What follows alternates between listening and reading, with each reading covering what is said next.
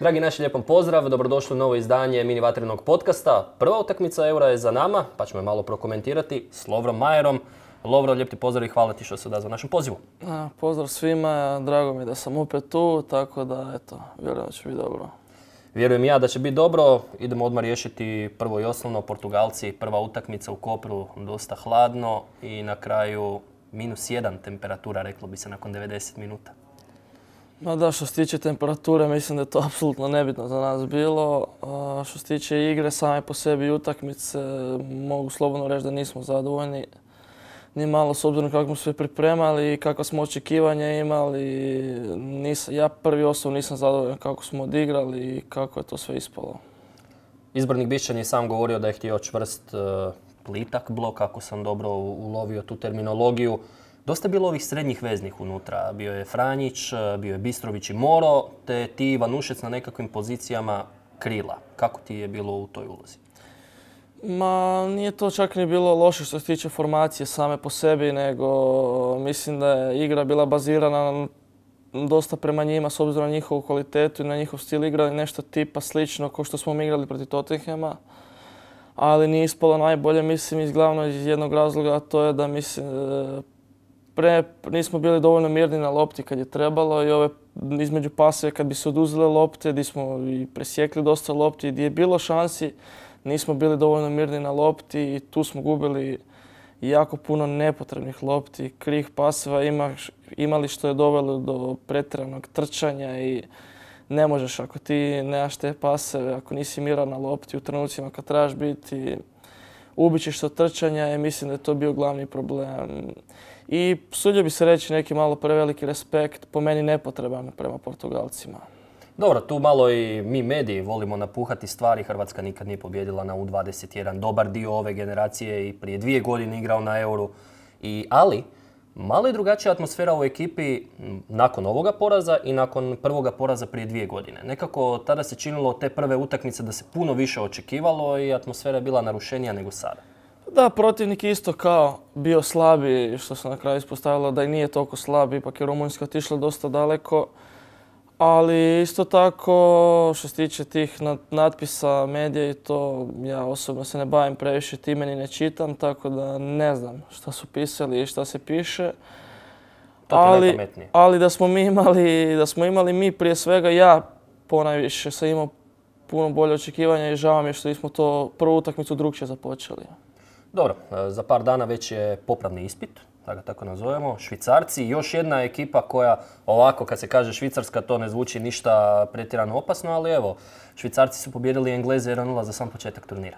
Da, mislim, bilo je još par iznenađenja do sada što smo vidjeli na Euro i zato Euro je zanimljivo. Uvijek imamo iznenađenja i novi igrači za koje se još ni ne zna, tako da švicarci mislim da su odigrali jednu jako dobru utakmicu protiv Engleza i po ovome što sam ja vidio, mislim da su zaslužili tu pobjedu. Tako da vjerujem da neće biti lako, ali isto tako i dalje vjerujem u nas i dalje vjerujem i mislim da je moguće proći u grupu. Ti si bio zamijenjen u drugom poluvremenu, e, nekakva lakša ozljedica, je li sve u redu? Pa za sad je sve u redu, vidjet ćemo. Vidjet ćemo još sutra kako će biti. Mislim od početka došli smo svi na ove pripreme, malo umorni od utakmica i svega. Tempo je jači nego ikada, ali dakako to nije nam to nikakvo opravdanje, nego eto, idemo se probati pripremiti i dati sve od sebe, ali eto, ja sam prvi sam, ja živio sam za ovaj euro i veselio se svakoj utakmici, tako da ja vjerujem da će biti dobro. Da, kad kažeš pripreme, niste baš ni imali nekakve pripreme, u stvari dva treninga, tri možda prije samog početka prvenstva, jer je takav ritam. Za razliku od onoga prije dvije godine kad ste nekakvih desetak dana bili u Medulinu. Koliko to mijenja cijelu percepciju i doživljaj cijelog ovog natjecanja? Pa mijenja puno, prije svega doživljaj cijelog natjecanja, ali ko što sam rekao, to nije opravdanje ni tišta, nego sami po sebi euro, euro je ponekad, ono, ima ipak neku svoju čar sa prijašnjim, sa prijašnjim, eh, s prijašnjim tim kako se odigrava, ipak imaš i neke pripreme od 15-20 dana, ovisno o tome, uvijek se po ljeti održavalo i ipak ima te sve neke svoje čari. A ovo ipak imali smo kad smo, došli smo tu 22. smo došli, već 25. je bila tekma s tim da većinom 23. i 24. ti nisi uopće trenirao, većina igrača nije trenirala zato što već 21. 20. svi su igrali svoje utakmice po 90 minuta u svojim klubovima i ipak treba neko vrijeme da se oporaviš i ne stigneš uopće raditi na tim nekim, kako da kažem, možda ozbiljnim treninzima ili na nekoj drugoj vrsti pripreme. Evo, Sandro Kulenović nam je istaknuo, nekako uvijek se može sve gledati dvije strane medalje. E, pozitivna stvar kod svega ovoga što ulijećete u ovaj euro, odnosno uletili ste usred sezone, je to da ne morate odrađivati nikakvu bazičnu nekakvu kondicijsku pripremu jer ste već e, u napadu snage u top formi. Pa da, to, to je isto vezano s ovim što... Mislim da se mene pita da se razumijemo, meni je, meni ne, ne smeta, meni da pače, pače mi ovako što je organizirano iz razloga zato što imaš utakmice, imaš milion utakmica. Mislim da svaki igrač jedva čeka utakmicu i za utakmice se i trenira i živi.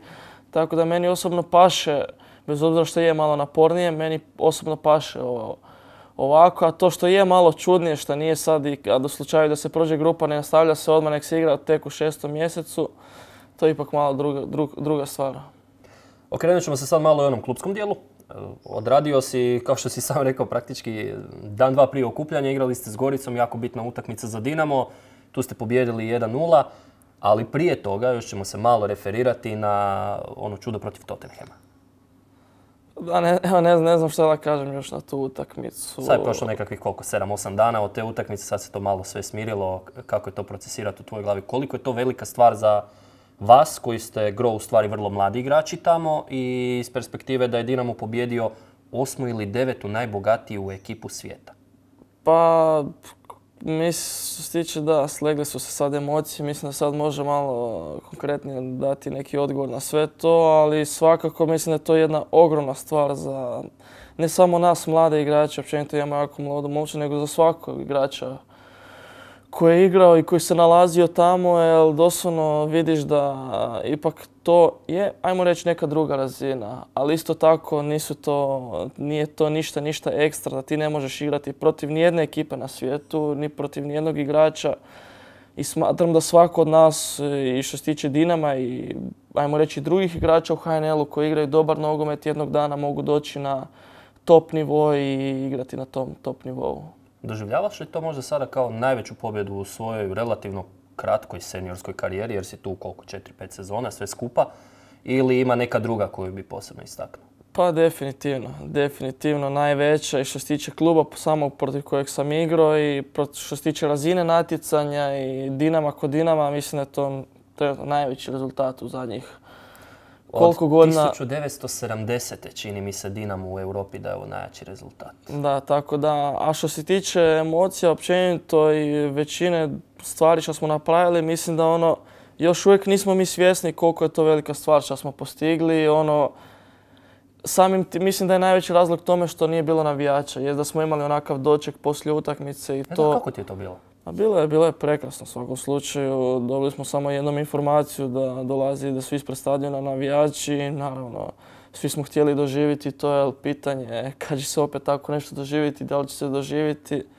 Ali bilo je stvarno prekrasno i zato kažem, ovaj, mislim da, mislim da bi to sve još bilo puno više doživljeno i puno ljepše da ipak su bili navijači u stadionu. Naravno, kao što je bilo prije dvije godine kada su dolazili Benfica, Viktorija i tako dalje.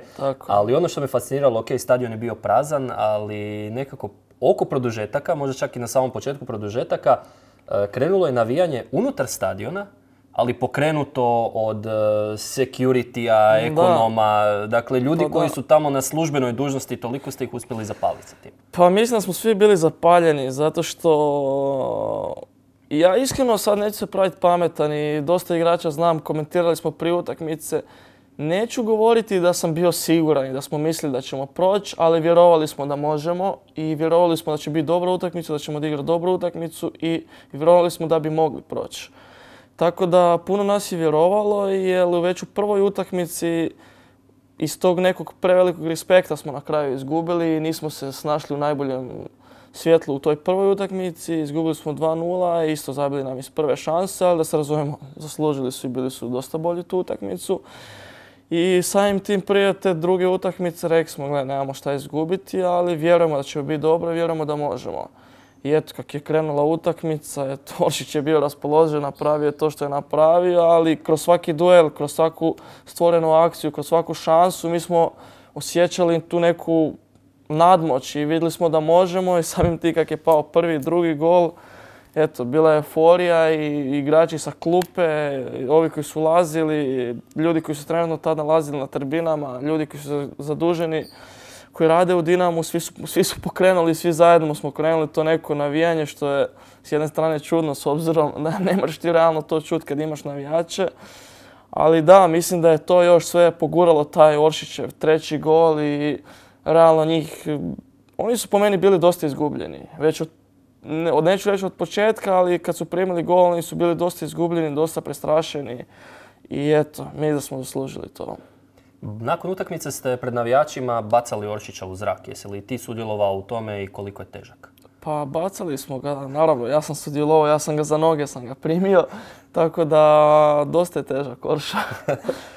I sam si istaknuo ovu utakmicu s Portugalom, si povukao paralelu na, s prvom utakmicom protiv Tottenhema u Londonu. Je li sada nekakav mindset vas igrača ovdje u reprezentaciji sličan e, kao i u oči uzrata protiv Tottenhema? Dakle, imate sada Švicarsku i jednostavno nemate što izgubiti. Vama trebaju tri boda da ostanete živi u turniru. Tako je, moj osobni mindset je bio tako i prije utakmice. Što se tiče ekipe, mislim da isto se sad ipak malo i promijenilo i vidjelo da ipak e, trebamo još biti puno opasniji, još više rizika uzimati, tako da vjerujem da da i vjerujem da i drugi da svi zajedno mislimo da možemo i da smo stvarno svjesni koliko smo kvalitetni i da možemo to odraditi. Jeste li igrali kad sa švicarcima u ovim mlađim uzrastima, sa ovom generacijom? Sjećaš li se možda? Mm, S Portugalcima znam da ste igrali da, gro utakmica i u 17 i u 19. Mislim da sa švicarcima ne, oni su uvijek bili ono... Ne, mislim da nismo sa švicarcima. Prije utakmice s Portugalom, Portugalci su se već posložili u formaciju, čekao se početni e, zvižduk, dakle izvođenje lopte centra. E, vi ste stali u jedan onako grupni zagrlja i pretpostavljam da je onda kapetan morao nešto govorio ili netko drugi. Kako ste se dogovarali? Što je to bilo? Nekakav motivacijski govor ili? Da, neka vrsta motivacijskog govora, to je normalno, mislim, pred većinu, odnosno većinu velikih utakmica, tako je bilo i sad. Ono, par igrača je reklo svoje neke stvari, motivirali jedni druge i to je to. Kada pogledamo ovaj spisak, odnosno sve vas koji ste ovdje na U21 euru, jako puno vas je iz hrvatskih klubova jako puno vas igra jako važne uloge u hrvatskim klubovima. Evo, na primjer, e, ti se susrećeš e, u veznom redu sa veznjacima s kontra strane, ajmo reći.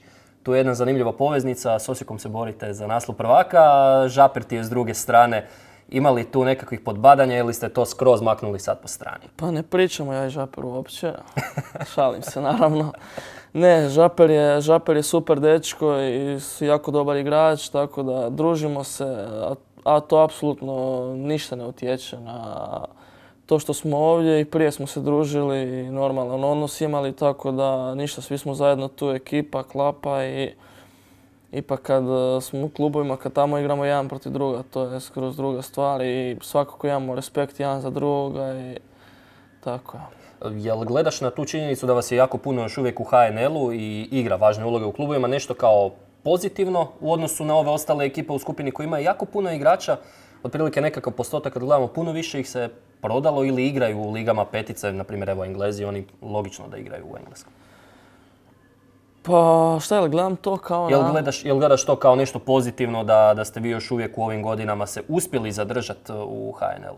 Pa visi, kao svako će gledat na to kako hoće, da li je, neko će možda smatrati da možda već je trebao otići ili da su trebali otići negdje vani ali ja mislim da je sasvim normalno i dobra stvar igrati ako igraš u svom klubu u kontinuitetu i dobro igraš da je sasvim neću reći nebitno, ali kažem HNL se ove sezone pokazao koliko je jak, tako da meni osobno je situacija jako dobra. A što se tiče Portugala, Španj, ove, Engleske, Engleske ovisi isto tako i igračima. Evo, mi smo dosta gledali, dosta ovih igrača šta protiv kojih smo jučer igrali sa Portugalom, dosta oni, to su sve kao neke zvijezdice, se moram tako izraziti, sve neki veliki igrači, ali ne igraju u svojim klubovima trenutno, tako da mislim što se tiče toga, mi smo s te strane bili, bez obzira na njihovu kvalitetu, u nekom plusu, ali eto, nismo to iskoristili, nažalost. Dobro, Lovra, evo s ovime ćemo završiti. Hvala ti puno što si odvojio vrijeme za nas. Hvala vama. Bio je ovo Lovra Majer. Lijepom pozdrav.